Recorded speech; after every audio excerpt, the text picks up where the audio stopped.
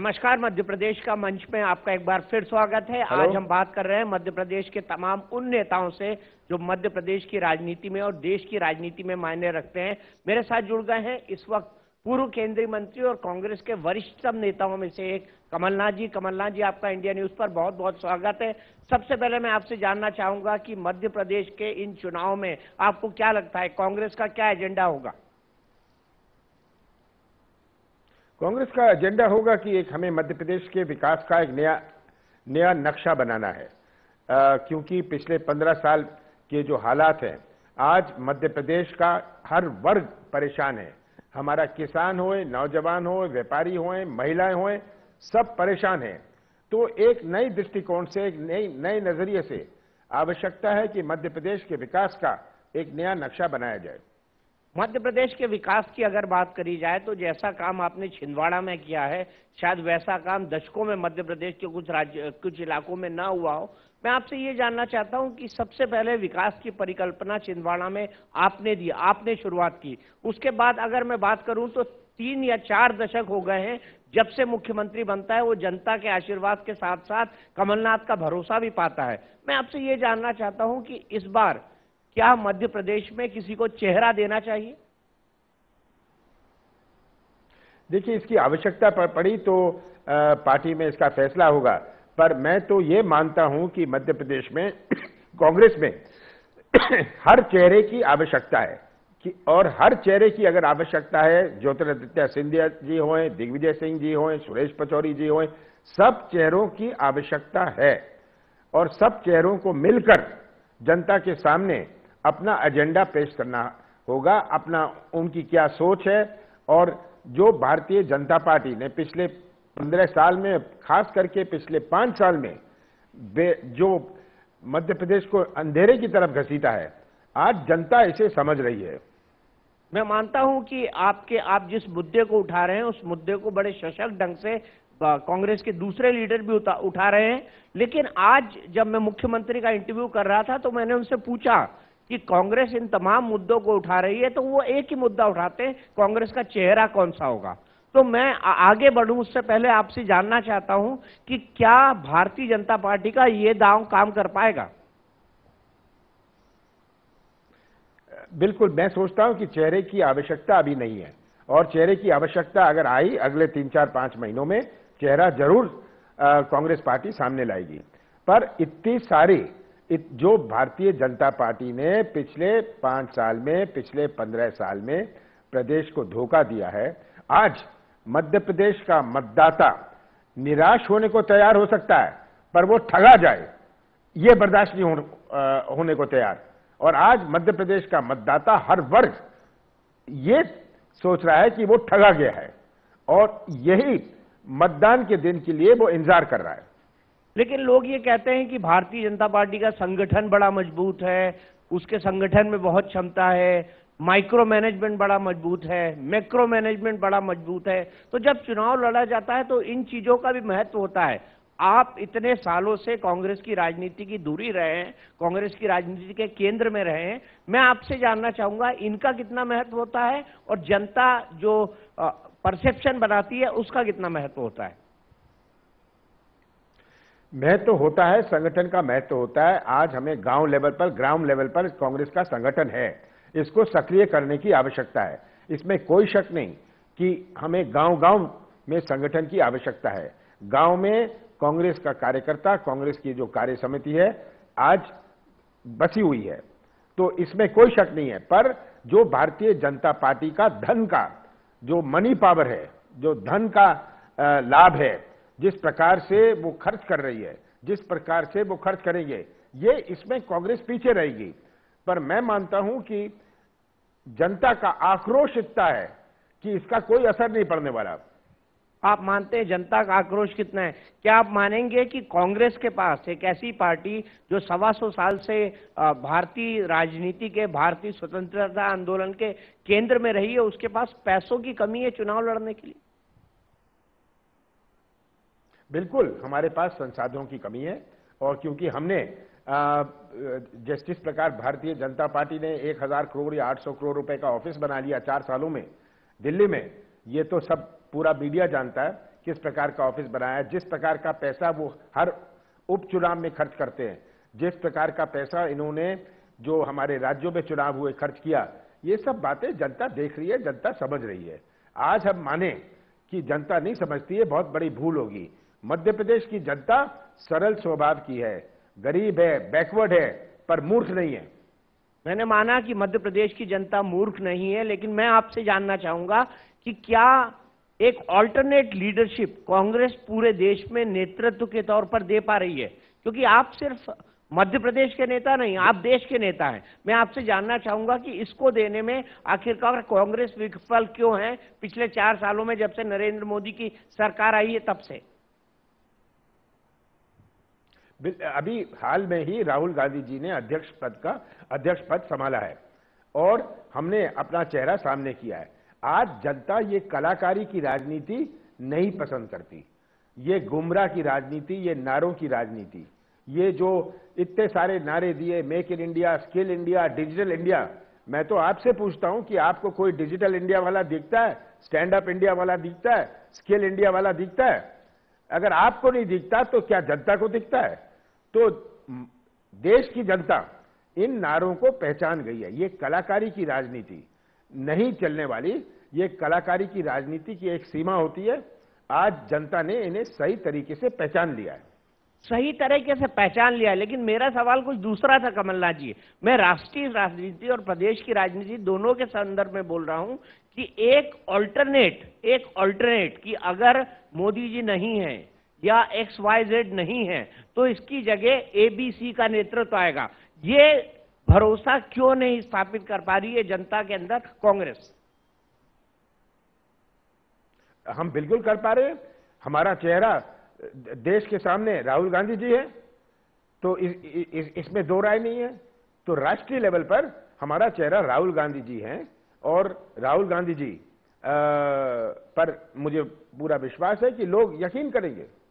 अगर 2019 की चुनाव की बात की जाए जो सामने है और आप खुद मध्य प्रदेश से सांसद है मैं आपसे जा, जानना चाहूँगा कि 2019 के अंदर राहुल गांधी की लीडरशिप होती है तो आपको लगता है कि क्षेत्रीय छत्रप जो हैं वो आपके साथ अलायंस करेंगे? बिल्कुल करेंगे। बहुतों से चर्चा हो रही है और वो खुद क्योंकि आज जो गैर एनडीए दल हैं वे इतने दुखी हैं वो चाहते हैं कि परिवर्तन होए। और सब आपस में चर्चा कर रहे हैं रोज अखबारों में निकल रहा है। ये कोई इससे चर्चा कर रहा है कोई इससे चर्चा चर्चा कर रहा है और इसका केंद्रीयकरण होगा आने वाले कुछ महीनों में इसका केंद्रीकरण ज़रूर होएगा और मुझे विश्वास है कि सब गैर एनडीए वाले दल मिलकर भारतीय जनता पार्टी का सामना करेंगे। हर प्रदेश की परिस्थितियाँ अलग है। हर प्रदेश में एक अलग रणनीति बनानी पड़ेगी। यह भी हमें स्वीकार करना पड़ेगा। ठीक है, मैंने माना हर प्रदेश में अलग रणनीति बनानी पड़ेगी, लेकिन जितने बड़े प्रदेश हैं, वहाँ पर तो मात्र कांग्रेस एक जूनियर पार्टनर की तरह हो गई है। उत्तर प्रदेश के अलावा और बिहार के अलावा, मध्य प्रदेश में हम हम हम कोई कम नहीं है, राजस्थान में हम कम नहीं है, महाराष्ट्र में हम कम नहीं है, गुजरात में हम कम नहीं है। अभी गुजरात का परिणाम देखिए हाँ जो मोदी जी का प्रदेश, जो भारतीय जनता पार्टी का सबसे बड़ा गढ़ माना जाता है, अमित शाह जी का प्रदेश, अगर सूरत को हटा देते तो भारतीय जनता पार्टी पराजित थी।